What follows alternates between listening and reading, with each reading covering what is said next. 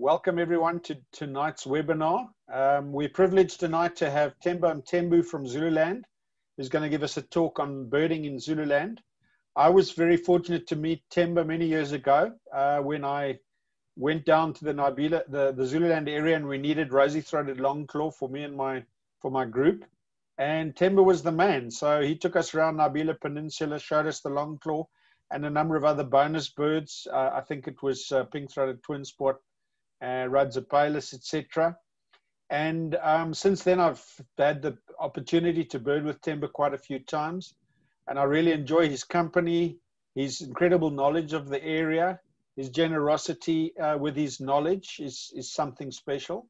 And I think he serves as, a, as a, an ambassador to all, uh, for all the, the regional guides in the Zululand region. So tonight it's a great pleasure to have Themba. Um, uh, I'm going to, Tim is going to speak to uh, using PowerPoint slides. And because of technology, I'm running those from my end. So I'm going to switch over and show the slides and then Themba will climb right in. Ladies and gentlemen, hi. Thank you so much, Etienne. Um, I really appreciate an opportunity and um, I would love to thank you guys for making up some time for this. It's really great. You've got no idea. And thank you so much for just presenting yourself into this webinar. It's such a wonderful uh, uh, uh, time we're going to spend together. Um, just as Etienne has said, I just would like to thank him particularly, including Derek, for making sure that this webinar uh, uh becomes a success. And also just definitely love to thank all of you for making some time for this. It's really great. Thank you so much. And I also try and thank very few uh, uh, wonderful people in my life, like Tandi Shabalala of this Isimangaliso Wetland Park, Elmarie Mostert for uh, offering the use of her pictures just free of charge. Thank you so much, Elmarie. Becky Mabiga from Isimangaliso, Roland Forwick, Asher Glassy, Duncan Pritchard, uh, Gary Rowan, Peter Shadwick, Stuart Madsen, and many, many others. I, I thank you all, guys. Um, yeah, thank you so much. Without wasting so much time, I'll also try and just quickly introduce myself so that you are all aware of uh, who Themba is. If you can just quickly check from the title, it says from humble beginning of being a notorious bird egg hunter to a bird entrepreneur. Yes, it's all about that. Uh, the same island that Etienne just mentioned, Nibela Peninsula, is one and the same uh, wonderful piece of ground where it all began.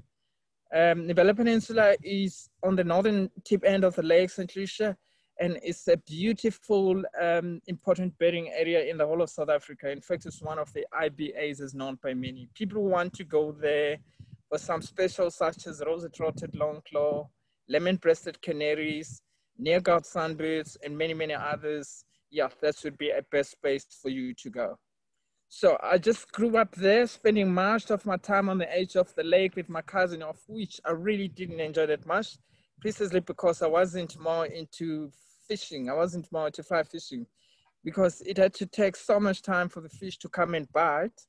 As a result, that was not my thing. So I decided to go out with my uncles and started hunting with them and that's um, just empowered me with more skills for hunting. So I had to hunt birds' eggs, I had to hunt birds for feathers, I had to hunt small antelopes, obviously for food and not as serious advanced poaching of today.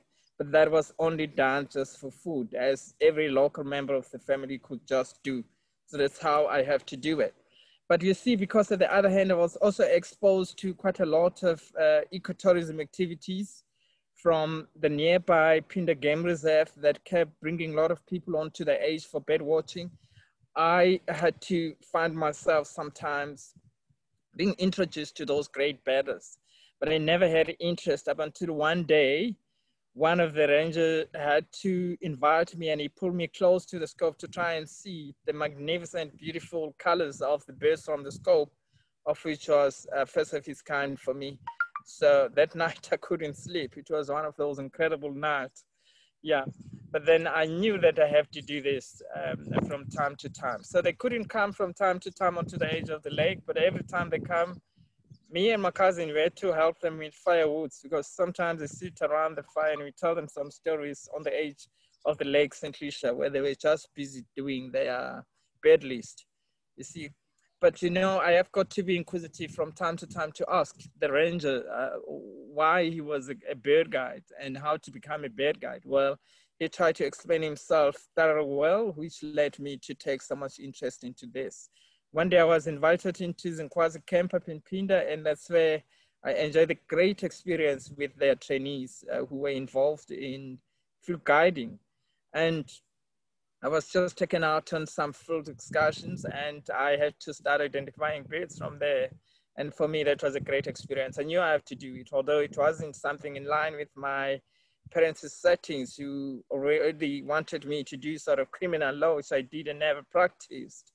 But uh, later on, I realized, okay, I need to follow my heart. And I was so lucky I got linked up with BirdLife through Roland Forwyk and Duncan Pritchard, um, who used to work for BirdLife at the time. And that's how I got hooked up to BirdLife.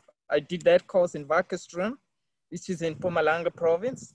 And that's saw me, you know, having a great interest and knowledge in birds. And, and it seriously developed me as so much because I never ever had more serious advanced knowledge about birds um, until I went to attend that course yeah, that's how it all began. And from there, I have got to go home, becoming um, um, a small bidding entrepreneur. And some of my local people, they look at me and they thought I was mad with binoculars and cameras.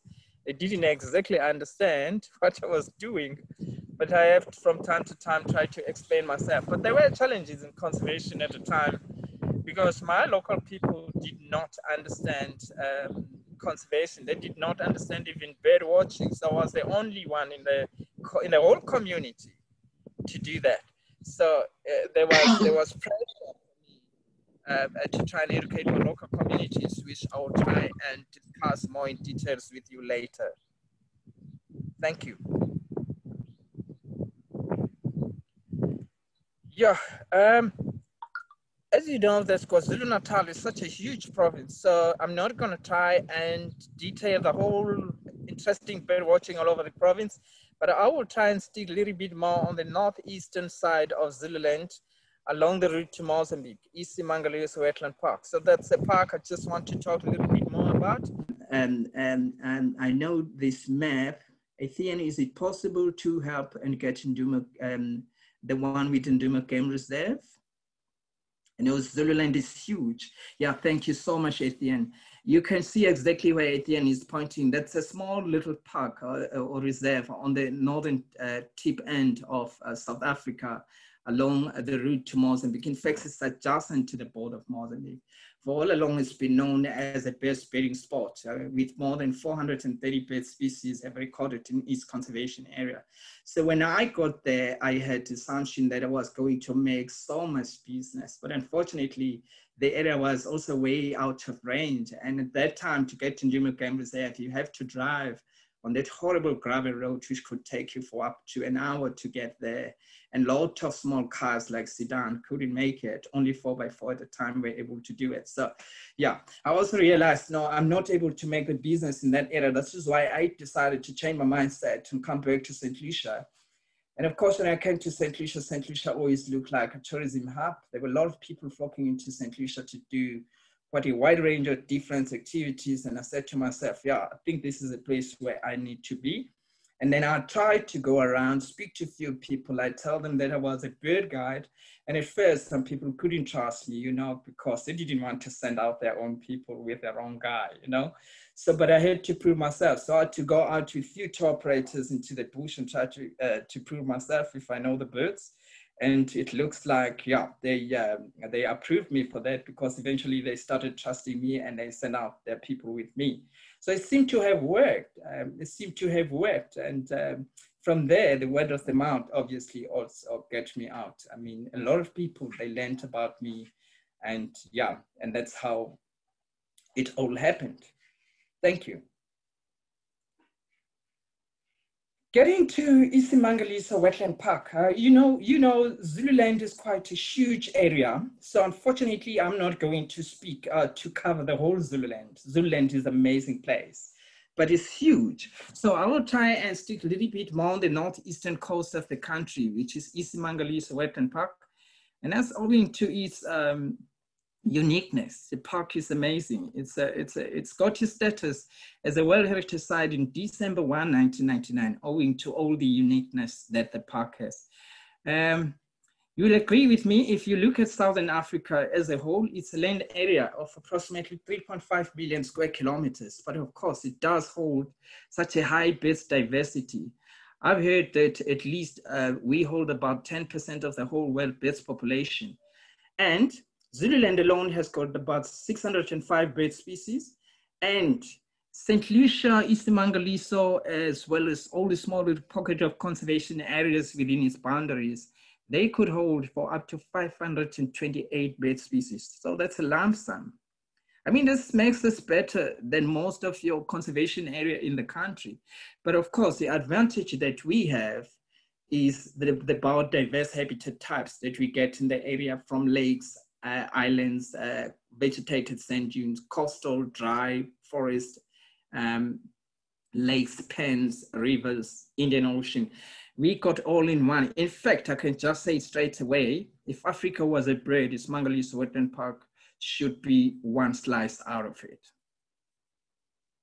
Now, having said that, out of all the places where Isimangaliso Wetland Park occur, you got these two divisions.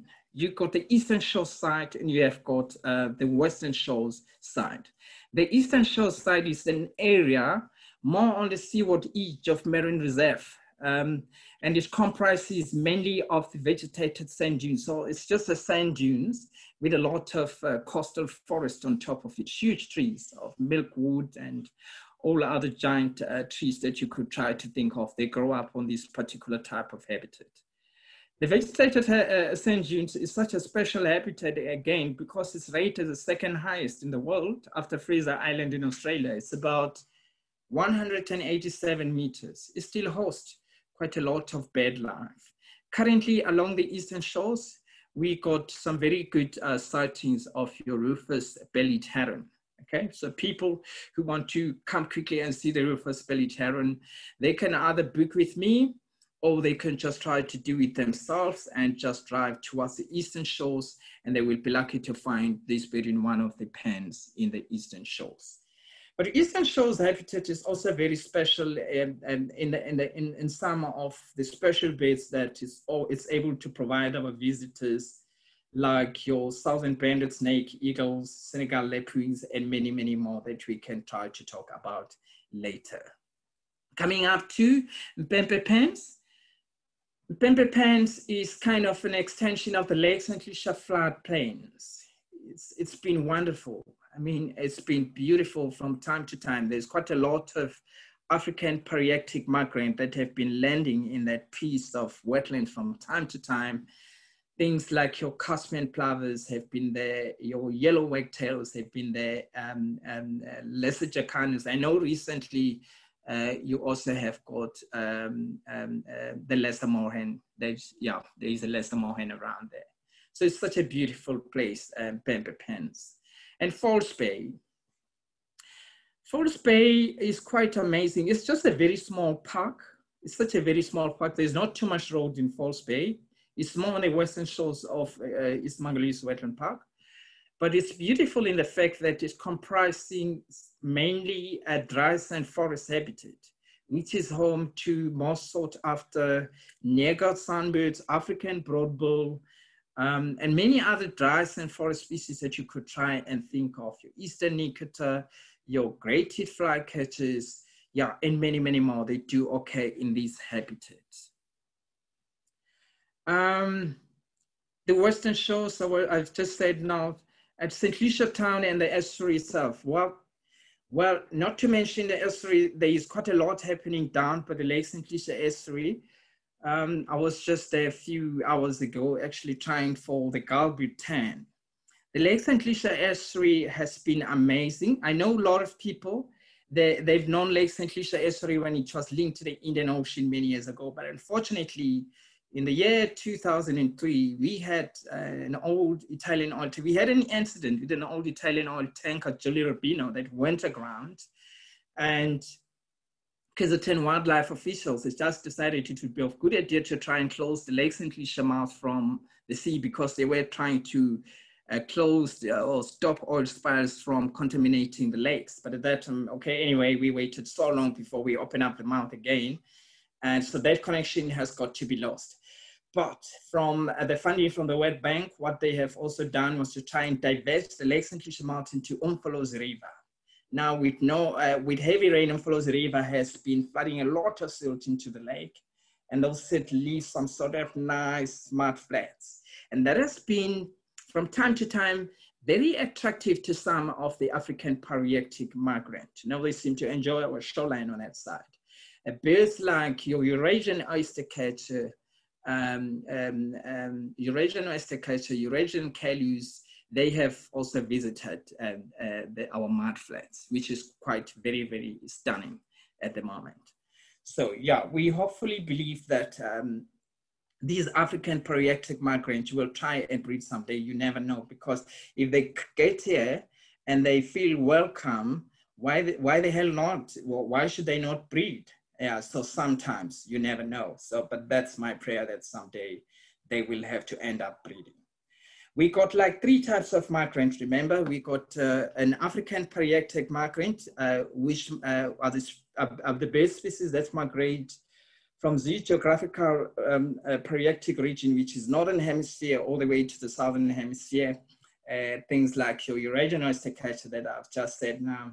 And then you have got sort of altitudinal migrant, those that migrate from the higher to, to the lower altitude or vice versa.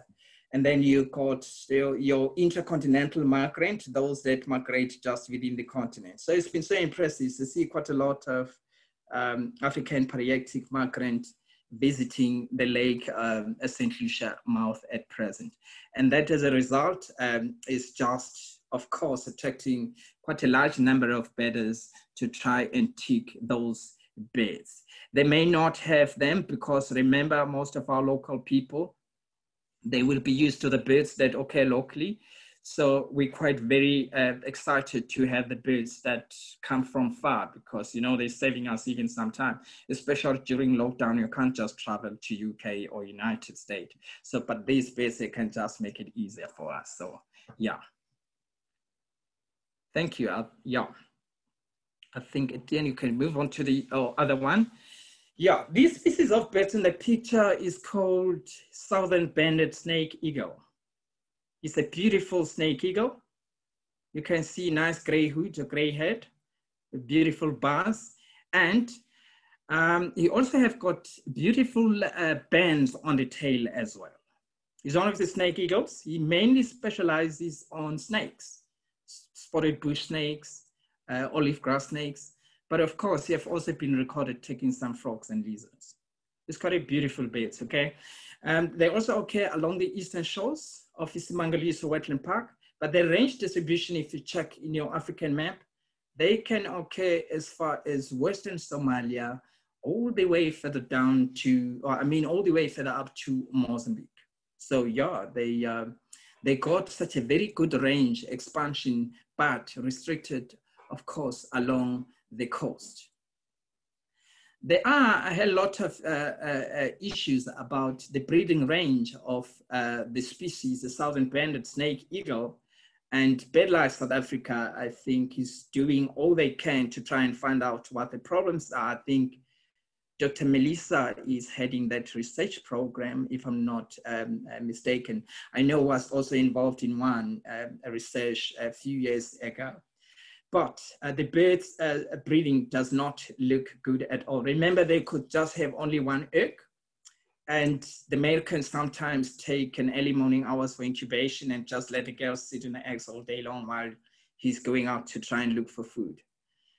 But we, we have got no understanding as to why the numbers are striking. There are about 650 to 2,000 birds in Africa, but uh, uh, in South Africa, all I've heard is that the pairs, they're struggling between 40 to uh, 50 birds. So that's not enough. There must be something wrong. Of the population occurring within um, uh, Southern Africa or SADC region, you got um, um, you, you got uh, the southern Mozambique one, you got um, um, the, the, the middle Mozambique one, which is an area which includes Beira and Zambezi, and you also have sort of western uh, Zimbabwe side. So, but we wish like the Bears could improve their numbers and do more, but yeah, it doesn't, it doesn't seem to be. Thanks, Etienne. You can move on to other one. The Neergaard sunbirds is such a beautiful uh, as you can see. I know that many people they can intend to confuse him with Marico, but Marico seems to have quite a very long decay bill. This guy has got slightly short beak, He's so beautiful. And if you check very carefully on his armpit, you can see there's a tiny little yellow spot. Okay. Yeah. He's very, very beautiful bird and he's also one of our endemic. He's on the southernmost limit of his range. They're also striking. They're very restricted to their dry sand forest habitats where they could just mainly specialize on tiny little insects such as spiders and other flies. And their nesting is also very secretive. I must also share with you because sometimes some of you will be trying for these species. I know it's, you know, I know it is one of those most sought after ones. So it's one of the secretive species in terms of nesting. So they use, and, and in False Bay where you find them in the dry sand forests of False Bay, Charters Creek, Phinda Game Reserve, Kuza Game Reserve, Tembe Elephant Park, and Duma Game Reserve, they nest into um, uh, by the, the Lebombo wattles, Newtonia hildebrandtii. Those are giant, beautiful trees that spread canopies and they, they have got some special lichens, okay? Which is very long, sort of extraordinary. They're called old man's beard, okay? Like a beard of a man, right? And this bird can just pick up those things and then they can just knit it nicely together, including a bit of a spider web, and then they can put their small little nest there. And yeah, yeah, they can just put one up to three eggs into it. They also don't seem to breed very successfully. What is good with the Neergaard sunbird is that uh, most of the population seem to be confined within the conservation areas, which which is at least better because then it means that they're not exposed to any danger. Thanks the. Move on. Pink-throated twin spot. Wow, I like this one. Just let's uh, let's have a look at uh, at the Latin name for this one. Hypargos margaritatus. It's a Greek word. Hypargos is a Greek word. Hyper means owing, owning something, right? And then Argos means, um, how can I just say it? Multi-eyed dragon. Okay, that should have been in the old uh, Greek myth stories. Now, looking at this bird, it looks like she is armed. She has got hundreds of eyes below his belly. All right, that's where the names come from. Beautiful bird. But the Zulu name also, if you check on the end of this Latin name, I just included the Zulu name, Magumejana. Right, in the Zulu history, uh, Magumejana is one of the young uh, Zulu Gumede lady that used to be quite very crafty with her beads. So, you know, when she was weaving her beads, she used to be quite very good. And that is why the bird has been named like that. On the recent book that uh, most of the local bird guide contributed onto the birds of uh, the, the Zulu names of, of Southern Africa, we we have just been giving most of these bits names to it. Maybe you will have to buy yours. Thank you.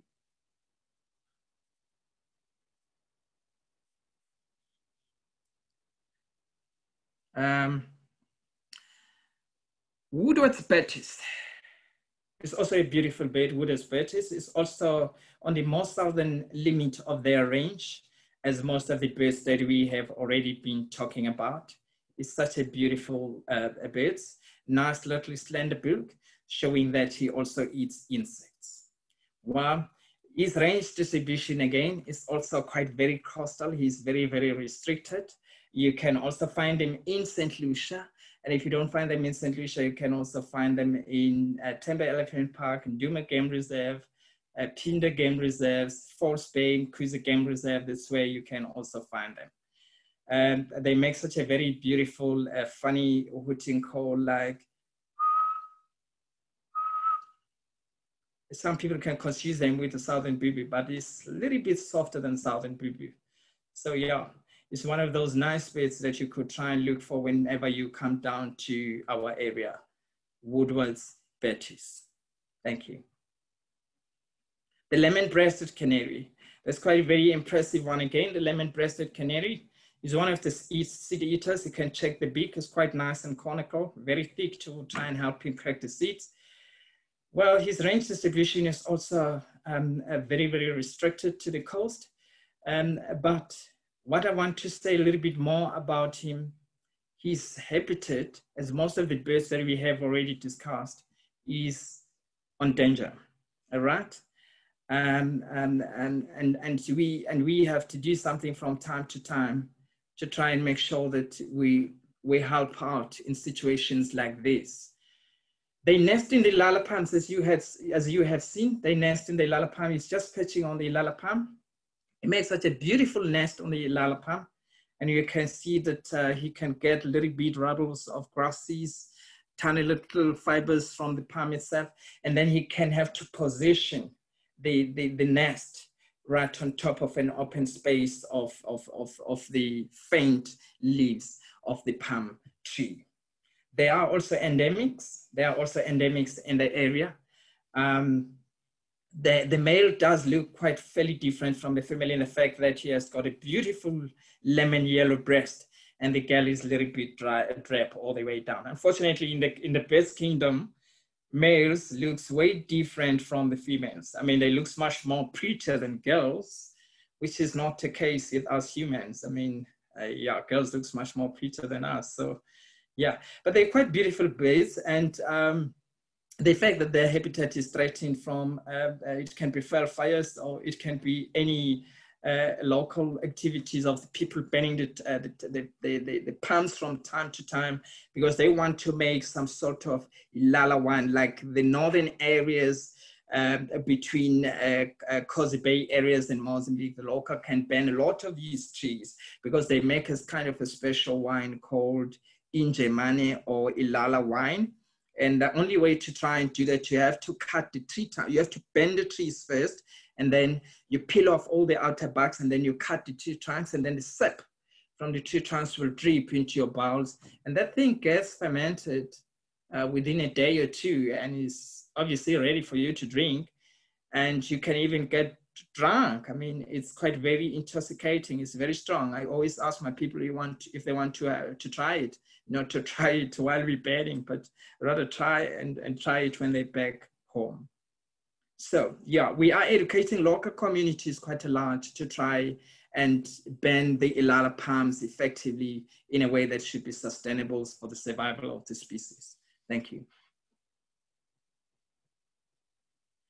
Rudd's apalis, Rudd's apalis. Many people can confuse this one with the bar-throated apalis, but let's try and look at this one carefully look at the eyes. The eyes of the Rudd's apalis stay black, right? Beautiful little yellow um, close to the shoulders as well.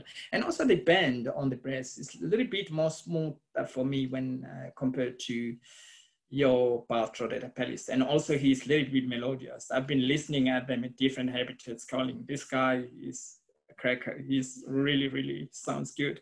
I like him but he's also one of the endemic and he is also prone to habitat degradation. So his habitat is uh, obviously threatened. If you want to see him, you can also try to see him as far as um, uh, St. Lucia, Richards Bay, and all the way up to um, in Mozambique. So you can find those bits from there.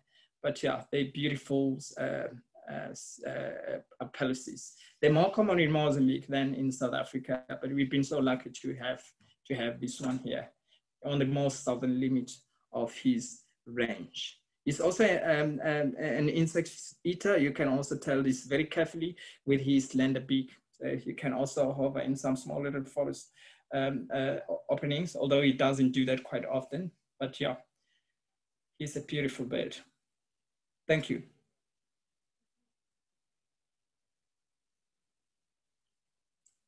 Right. Well, some other special bits in the area. So every time in Zululand, you go for one special bet, but of course, you manage to get a bonus, bonuses with many precious, beautiful raptors. I mean, glorified raptors. Look at this uh, ginger colored, beautiful Pel's fishing owl. He is so gorgeous. And you can check those uh, black dorsal eyes. He's still missing. I know for sure he's still missing in many people's list. And many people always wonder where to go to try and look for this one. Some people have been to Botswana to try and look for it. Some people have been to Kruger to try and look for it uh, along Okavango. And some people has been to uh. Yeah, Mkhuzi Game Reserve, I agree, can be one of the best places to see it within Isimangaliso Wetland Park. And of course, um, uh, uh, the Pongola River, uh, just after Jozini, is also very good to try for this bird. If you just jump onto a kayak and then you paddle along the river, it's quite way safer. It's not like if you're in St. Lucia sitting on a kayak because you've got uh, lots of crocodiles and sometimes sharks to try and look for any birds. But Pongola River is much more safer. You can just have to try and, and, and paddle along the river to try and look for these birds. They're quite more common there. But in Mkhuzi Game Reserve, Lower Mkhuzi, uh, between Marzipan also in Mkhuzi Game Reserve, is also common to see the Pel's fishing owl.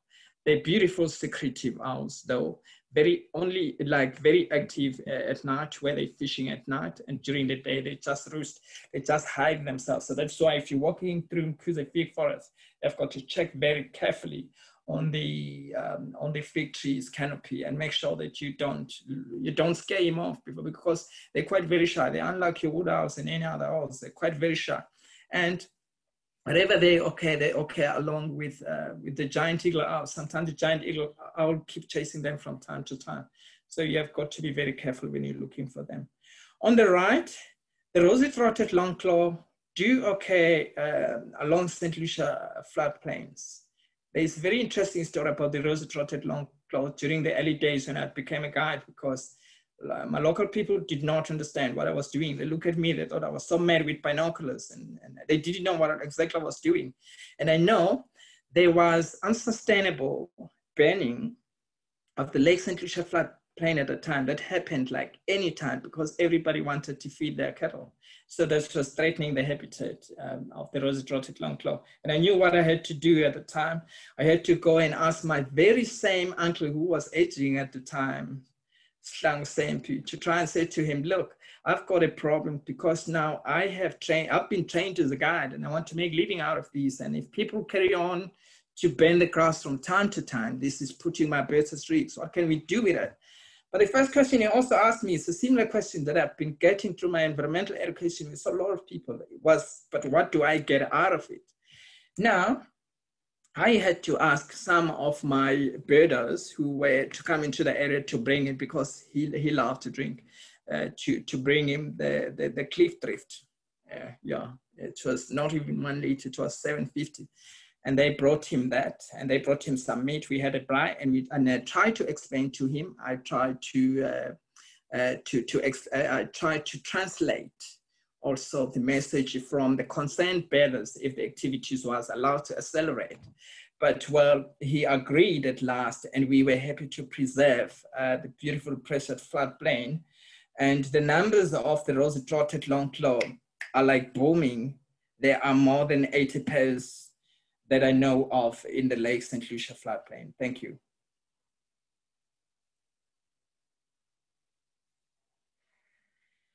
Lesser Jacana, it's a beautiful one again to try and look at. It's quite very secretive. And most of the people should always miss him, even if they are looking carefully, because he's very well camouflaged. You can see just, excuse me, you can see some of the leaves. They've got some sort of nice little rufous rusty colors like him. So obviously it's very easy to, to miss him. And most of the time, if he was occurring in the pens where the African jacanas occurs, he could make sure that he keeps on the fringes, on the edges of the pen, because the African jacana always just bombing. Uh, uh, uh, they don't like him. You know, he's so small, so he's uh, he's easily outcompeted. So, but yeah, the areas where one can try to look for these culprits should be your pen. Currently, now, if you go to Pen, you will be lucky to see him. And there are two birds, Pen that I've just seen.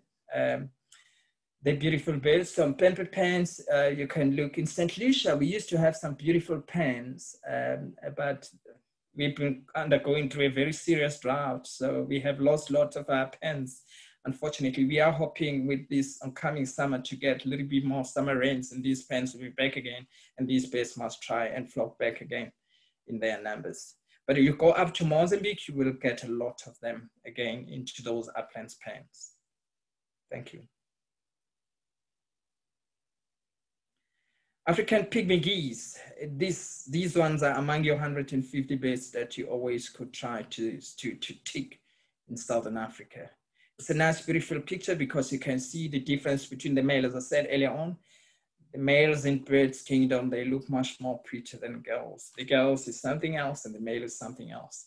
They're also frequent, frequent freshwater bodies, freshwater pens Uh, uh, um, along the eastern uh, shores of Isimangaliso Wetland Park, all the way to Nibela Peninsula pens, all the way to Musi pens, Bemper pens, all the way to Ndumo, Sokwe pens. You don't find them at Nyamiti. If you've been to Ndumo Game Reserve, don't try to look for them at Nyamiti pen because that's a salty pen. They rather prefer nice freshwater plants. That's where you can try to look for them. But also be very careful if you're looking for them because they're quite very beautiful. They've got these nice little rufous rustic uh, colors, which looks almost like dead leaves of the uh, uh, water lilies. So you've got to be careful with the binoculars and more slowly from time to time to make sure that you don't miss out on one of those. Thank you. African broadbill was one of the elusive um, uh, bugger that you should try and make sure that uh, you, you look for him. He's also occurs in the dry sand forest, small pockets also between Kruger and Limpopo, you also find them. But they're beautiful birds, they make such a very, very funny calls, which they combine with the display. So when they display from the perch, which probably should be a nice horizontal perch, they just jump and make a sound while they're flying in cycles and land back into the same patch. And at that time, it's just check that back, you could see it should reflect a bit of a, a, white ramp. So there should be a beautiful white ramp. So it could look to you almost like a big butterfly when it is displaying. But it's one of those elusive birds that cannot betray itself when it is when it is not calling. It's very difficult uh, to try and find. And one day I've been out with David in Forsby and we look for this David Letsoalo up north and we tried to look for them. They were not calling but uh, we try to use our skills of identifying the birds when they were not calling. Knowing exactly their uh, habitat locations also played an important role because you could at least go exactly where they are and try to play dead, play peaceful as peaceful as you can, and then yeah, you're exposing yourself to more chances of seeing them. The males you can see, has got much more heavy streaks on the on the breast and has got much more darker cap. The female has got much more tiny little faint streaks, but the cap is not as dark also as in the male. Thank you. Gorgeous bushshrike, as the name says itself, it's a very beautiful bird of the coastal forest. It's also very secretive. Um, I used to say they're more heard than seen. Sometimes they're very frustrating um, when they're calling and you've got your clients want to see them and they can't see them. So the trick to try and see them has been to walk slowly straight where they're calling and try to be as quiet as possible. And then you may be lucky to detect any movement through the bushes. And then, of course, take it. You know, the glimpse of any white, I mean, of, of any red or, or yellow or green should be enough for you because they can be very secretive but they really are gorgeous bait. Thank you.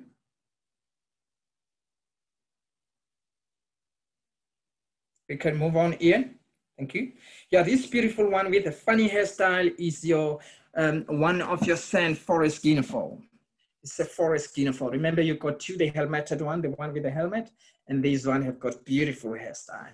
They call the forest um, uh, and they also prefer sand forest. So they're not common at all. You don't expect to see them in most places. You're gonna be in the dry sand forest, coastal forest uh, of us in St. Lucia all the way up to uh, Mozambique, and then you will be lucky to see them. Thank you. Thanks, Ian. Yeah, this beautiful eagle, well, I say it's an eagle because you can see the feathers goes all the way down their feet. So it's a true eagle because all the birds without that, they're not rated as true eagle anyway. But this one mainly specializes, uh, he loves the monkeys. Uh, he loves the monkeys. If he calls on top, the monkeys go mad about. So he can be found in most of our coastal forests, as far from Shawi, you can also find them. You can also find them all the way down towards St. Lucia, all the way up in Tembe, um, um, in Tembe and Djuma areas, Mkuzi Game Reserves. Yeah, False Bay, you also find them. Yeah, they're beautiful birds. They've got very strong talons, okay? They've got very, very strong talents and they can try to shoot one of their index fingers into the monkey's skulls and make sure that they paralyze and finish him off in, in no time. Yeah, they're beautiful. Monkeys don't laugh. And the characteristic way of hunting has been that uh, the male um, uh, calls on top and the female just calls underneath. And then they combine that while the male is um, um, attracting the attention of the monkey, and uh, the female is just getting a chance to grab the monkey. Thanks, Etienne. Next one. Yeah, the sooty, sooty, sooty falcon.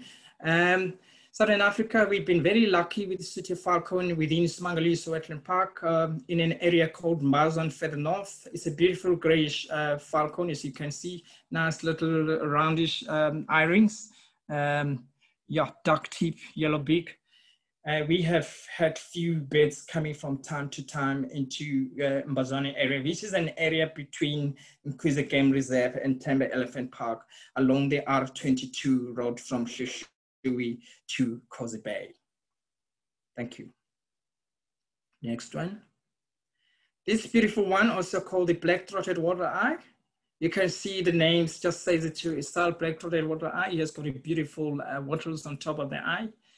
And yeah, this is, um, yeah, a little bit white on the, on the chest and also white belly and the band on the breast. They're also coastal, some of our elusive coastal uh, forest species.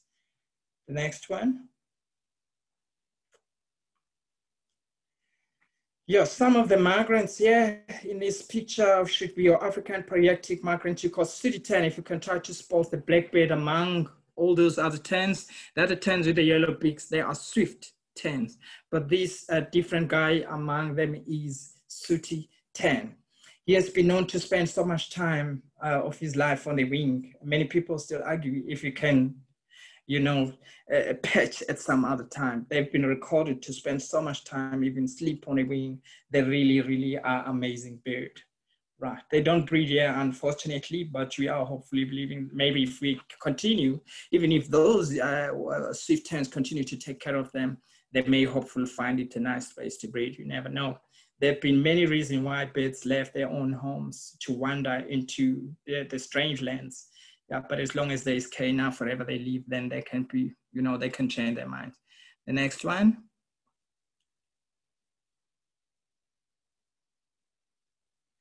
Yeah, other interesting uh, bird life to try and look at while you are at Mangaliso Wetland Park, especially along the northern tip end of the Lake St. Lucia where the shallows are. You could try to look for both species of the flamingo. The one on the left is your lesser flamingo and one on the right is a greater flamingo. You can tell the difference very well. The much more pinker ones are the lesser ones and also you can see sort of dark pinkish beaks. Yeah, but these one, they're much more, obviously they don't have um, more pinks on them and also they don't have as darker beaks as, um, as the lesser flamingos. They frequent the shallows where they feed for more nutrients using their incredible lamellae on their beaks, which have to help comb their own food very well. Thank you. The next one.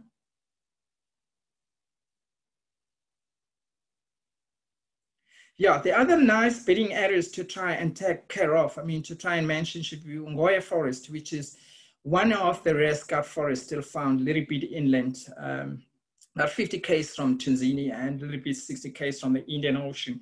It's such a beautiful forest nestled on top of the granite outcrops and specials that one should try and look at while they're there should include some rare trees, some rare birds like your Woodward's, um, uh, a barbet. Uh, it's also called the green barbets.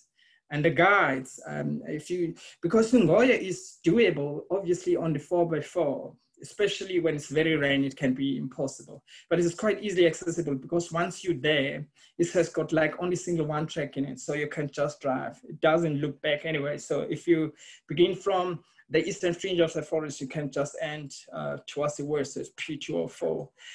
But if you intend not to four by four on that track, maybe you intend to walk. There are amazing good guides. There's Sakhamuzi Mhlongo and Junior Gabela. And um, yeah, the many guys, there, Jatama, Duna, Manan, Duli. They're amazing good guys who can just take you into those board forests. The forest on the right with a very long boardwalk of about 150 meters long. It's, it's a Dlinza aerial boardwalk. It's, it's been able to provide the visitors with a, a wonderful view, you know, of, of that beautiful forest canopy and most of the special bits one could try and look for while they're at the forest should be a bronze nape or Delegorgue's pigeon or spotted ground thrushes, although they can even come down to St. Lucia sometimes. But these are by far the best places where one can just go to check for bronze nape pigeon, spotted ground thrushes, starred robin, and many, many more. Back to Ngoya Forest quickly, some special trees. There's one special tree I remember is called the Woodward cycad it's no longer in a forest. They have to take it up to Durban Botanical Gardens, uh, but it was identified in that forest.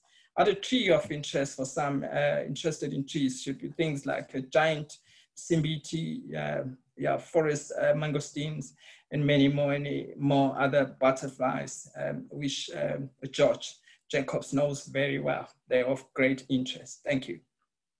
Next one. Yeah, just a little bit about Zulu Birding and the project that we do. Um, you can just get our contact details from this page, the next one.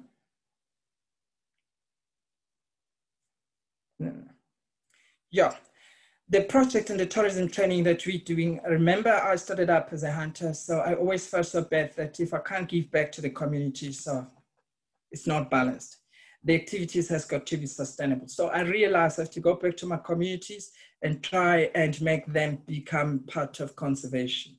The only way to do it was to try and show them that it works, to try and avoid the question that I got from my uncle the other day. So I am trying to train the local guides to become the bird guides, the culture guide, those culture guides can just help uh, you know take visitors on a cultural experience around their own local areas and make sure that trees like Ilala palm are not bent down, they're not cut down, so that the survival rates of the lemon-breasted canary can get you know uh, can get greater and greater. Yeah because if you don't do that then it's very very unbalanced. But i think it's quite very sustainable what i'm trying to do uh, to the local guys i'm not trying to be selfish at one stage one should have said to me but are you not increasing your competition? I don't think i am increasing my competition. I'm training these guys as nature guide and i have realized that most of them they seem to take more interest in nature and culture and they always find birds a little bit crazy. Yeah but it is it is my love that they should also be crazy uh, about birds like i do it's very important that we arm our generation with the knowledge of, of sustainable use of our natural resources. So tomorrow at least we are rest assured that uh, these uh, birds and animals and trees they are left under the very capable hands. So the camp in Elephant Park I had to build it primarily to try and make sure that I get as many of these local guides trained so that tomorrow they can at least see themselves as inspired as being part of conservation, especially if they get a chance to try and try the knowledge that they have learned into nearby game park because they are being trained on the accredited program, which is accredited with CATHSSETA, so that they can take with for life. I mean, we test got credits. They can work with whatever parks they've got is registered under the national qualification framework. We got a team currently up in Tembe to undergo this assessment probably in two weeks time. And we hopefully believe that we're going to make up some good guides. Thank you. The next one.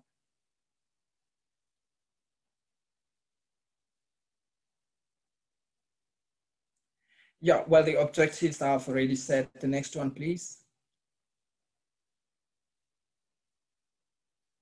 Yeah, this, this is an overview of the camp. You can't see quite clearly well, but we got sort of communal ablution showers that can be shared.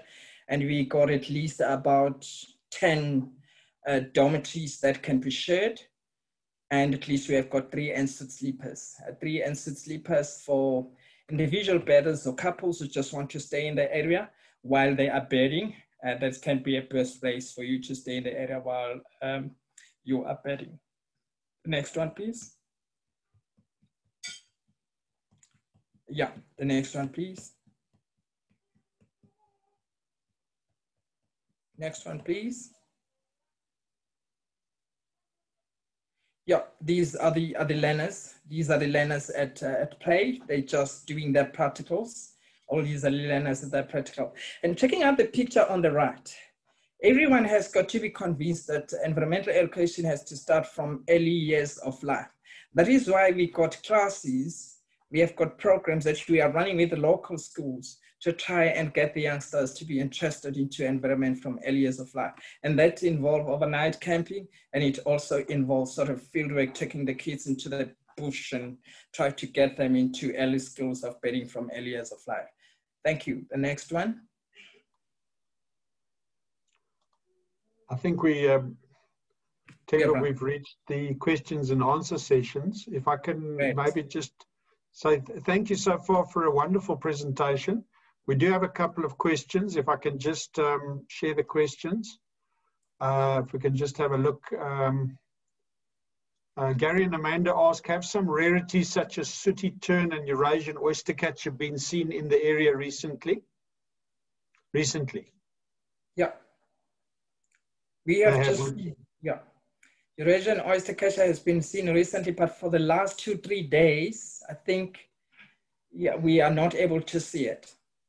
Sooty tern okay. is still there. I was there. I was there a few hours ago. Sooty tern was among a lot of uh, swift terns. Okay, and then Lester Niss asks, how likely is red-headed quelea? And I think he wants to know where to find red-headed quelea also. Well, red-headed quelea have had some very funny erratic movement from time to time. Ozabeni section of Isimangaliso Wetland Park, just between Pempe Pens and Manzi Manzibombo area along R22. You should try that area and be lucky to see them, but it's always not guaranteed. They've got like very funny uh, erratic movement from time to time. Okay, and then I think someone asked the name of the eagle that we were looking at, the African crowned eagle, I think it was. Yeah, African crowned eagle. And any lesser frigate birds recently from Gary and Amanda? Gary and Amanda ask about lesser frigate birds. No, we haven't. I haven't. I haven't seen the lesser frigate bird.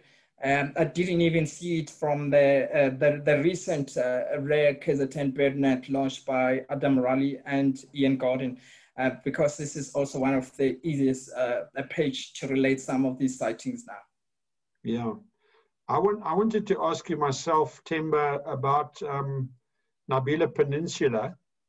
Uh, what's the conditions like there at the moment at Nibela Peninsula? Well, I can just say there's there's still a lot of water in the lakeside, so the floodplain still looks good and green. Conditions are very good. There's lots of improvement. Uh, the visitors seem to like the age of Nibela Peninsula. They few lodging and taking place on the edge close to Sabengu. There is a small little bed island camp that has just been built up there and that should be used for the visitors also coming to enjoy some bedding in the area. So I can say shortly that the conditions, they look quite good for beds. Okay, that's fantastic. Any other questions from anybody? Um, if you just want to uh, put them in the chat quickly. Um, Themba, have you got anything you want to add? I'm going to close off just by telling folks a little bit about what's coming up at Learn the Birds, but I think we've got some great uh, we've got some great feedback. Sorry, there is a question from Margie Hemp on what birds can you expect on the Gwala Gwala Trail in St. Lucia? Well, there's quite a lot to say. there's quite a yeah, lot. No, it's a tough question.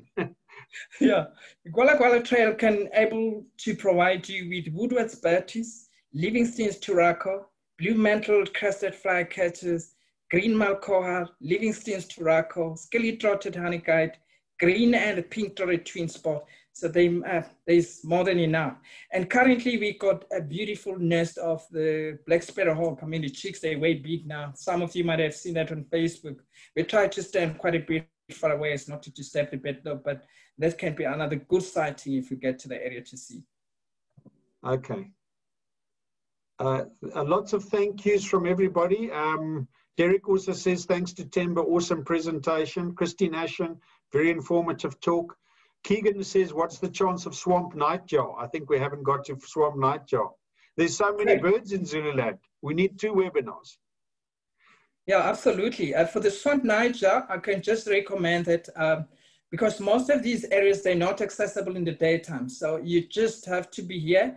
And then at night, you try the flat plains for the swamp nightjar. You have to have uh, those spotlights that you can even plug in your car because you don't need these open game safari trucks all the time. So you can just see the swamp night. I guarantee you, I know few places between Nibela Peninsula and some few places close to St. Lucia and the Western Shores where you can see them. Okay, thank you very much. Any other questions? So I'd just like to say a huge thank you to Themba for a wonderful presentation. Your passion and fascination of the birds of Zululand really came through. And I think, um, as I said, I think we, we could have done two. So thank you very much for that. Before I say good night, I'd just like to um, just give a quick reminder on what's coming up at Learn the Birds in the next couple of weeks. Uh, we've got Ernest Porter's um, uh, um, masterclass on uh, bird editing on the 16th September. Uh, we've got Derek, Dr. Derek Keats doing photography tips for novice bird photographers. I think this is more than just for novices. I think anyone who's got a camera who's not doesn't consider themselves as an expert should attend that webinar. And then I'm doing a more thorough presentation uh, compared to the one at BirdLife on birding Mozambique. Uh, that's coming up uh, next week. Uh, sorry, September the 24th. And then we've got Washington Wachira from Kenya on September the 30th. And he's doing a masterclass on Kenya's best bird sites and how to do a birding tour in Kenya on October the 7th. And then Derek's doing a very interesting webinar on uh, buy equipment, sorry, that's gone off, buy equipment, not software, quality open source free software for bird photographers. And then he's doing another one on basic evolutionary biology for birders on the, October the 22nd. And that's all from Learn the Birds. Please visit our website and we thank you so much for your support. And we, once again, thank you to Themba for a fantastic webinar. And we hope to see you all in the field sometime soon. So good night and enjoy the birding season.